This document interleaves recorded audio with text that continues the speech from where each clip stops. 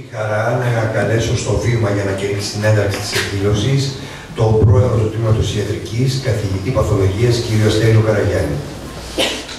Κύριε Κοσμήτωρα της Σχολής Επιστημών Υγείας, κύριε Πρόεδρο του Διευθυντού Συλλόγου, κυρίες και κύριοι καθηγητές, καθηγήτρες, αγαπητοί συνάδελφοι, αγαπητοί φοιτήτρες και φοιτητές.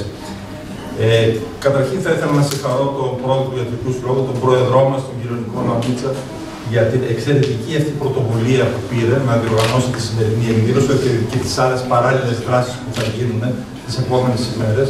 Και ο Σύλλογος με γιατρούς θα βγει στο Λευκό Πύργο στους δρόμους για να υποστηρίξει και να ενημερώσει τον κόσμο για τους εμβολιασμούς. Ασφαλώς ελέγχεται από τους προηγούμενους ότι τα εμβόλια ήταν η μεγαλύτερη ανακάλυψη της ιατρικής. Ε, και εδώ δυο λόγια δεν θα πω από τα ίδια, αλλά θα ήθελα να πω ότι σήμερα το τμήμα ιατρικής κάνει μια μεγάλη στροφή στη βασική και μεταφραστική έρευνα. Προσπαθεί δηλαδή ε, να στρέψει τους καθηγητές του, τους ερευνητές στην αναζήτηση αιτίων των νόσων. Ε, και αυτός πρέπει να είναι ο στόχος τελικά της ιατρικής. Και ένα μεγάλο παράδειγμα, μια που μιλούμε για τα εμβόλια, είναι η πολιομιελίτιδα. Η πολιομιελίτιδα οδήγησε πολλούς ανθρώπους σε αναπηρία, οδήγησε σε ε, φτύσιμο σανατορίων, νοσοκομείων, απασχόληση ιατρών, φυσικοθεραπευτών, συλληστριών και αντιμετώπιζαν πρακτικά τα συμπτώματα της νόσου. Μέχρι ότου βρέθηκε το αίτιο.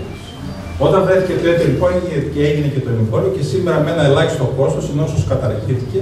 Τα δισεκατομμύρια δολάρια που ξοδεύτηκαν δεν ξοδεύονται προς αυτή την κατεύθυνση και δεν έχουμε μία νόσο.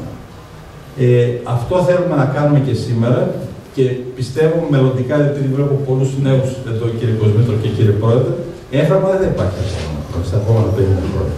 Δηλαδή θα έχει βρεθεί το έργο πραγματικά. Ποιος πίστευε ότι θα καταργηθεί η πολιομιλή όταν ζούσαν εκείνες τι καταστάσεις. Δεν θα υπάρχει πέτρας, δεν θα υπάρχει έμφαση μετά από 50 χρόνια, δεν θα υπάρχει σαχαρό της διαβίωση. Θα βγουν ένα νοσήμα Μην ανησυχείτε. Μια θα έχετε σαν γιατροί ιδέοι.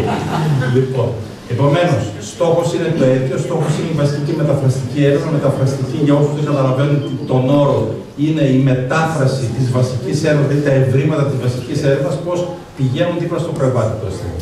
Πώς μεταφράζονται λοιπόν σε θεραπεία. Με τα λίγα αυτά λόγια και τι σκέψεις, κυρίως και την σας συγχαίρω πάρα πολύ.